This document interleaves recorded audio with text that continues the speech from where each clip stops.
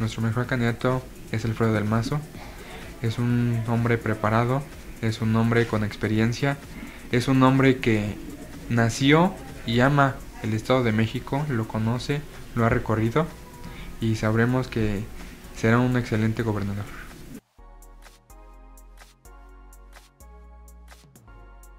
Yo siempre he reconocido en la figura de Alfredo del Mazo una persona eh, muy responsable, muy trabajadora, con la experiencia suficiente.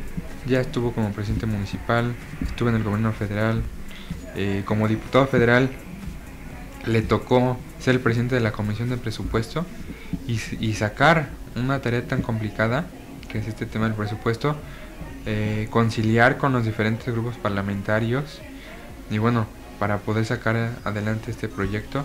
Y bueno, tuvo mucho éxito en ese tema y sé que lo tendrá como gobernador.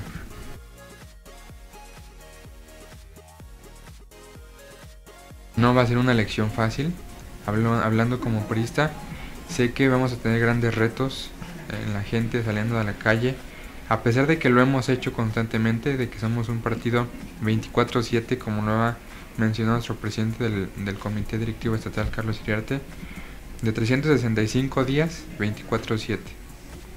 Y no vamos únicamente cada tres años a buscar a la gente y, a salir a las calles, sino somos constantes, estamos en las calles, estamos trabajando.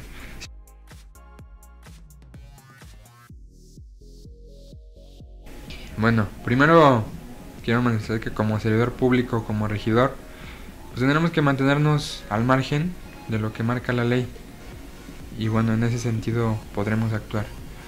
Yo creo que a través de nuestra presidenta municipal Denise Ugalde y del señor gobernador ha hecho un trabajo bien, ha hecho un trabajo con la gente, cercano a la gente.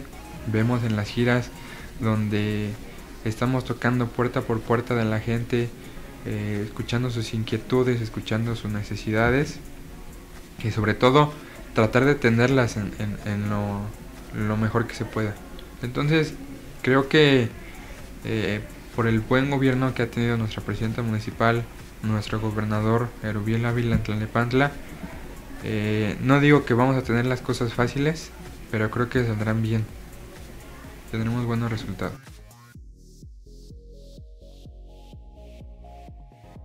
Convocar a todos mis, compañeros priistas a que nos unamos en torno a un proyecto no personal, sino un proyecto eh, estatal por el bien del Estado de México.